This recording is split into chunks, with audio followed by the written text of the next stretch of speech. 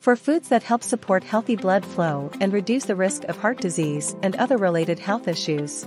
First, dark chocolate, it's high in antioxidants called flavonoids, which have been shown to improve blood flow and lower blood pressure.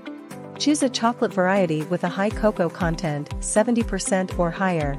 But limit your intake to a couple of small pieces per day.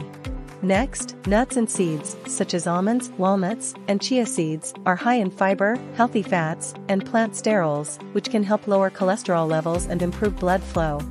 3. Leafy greens. Greens like kale, spinach, and broccoli are rich in vitamins, minerals, and antioxidants that can help improve blood vessel function and reduce inflammation. 4. Citrus fruits, oranges, lemons, and grapefruits are high in vitamin C and other antioxidants that can help protect against plaque buildup in the arteries. At last, subscribe to this channel for more useful videos.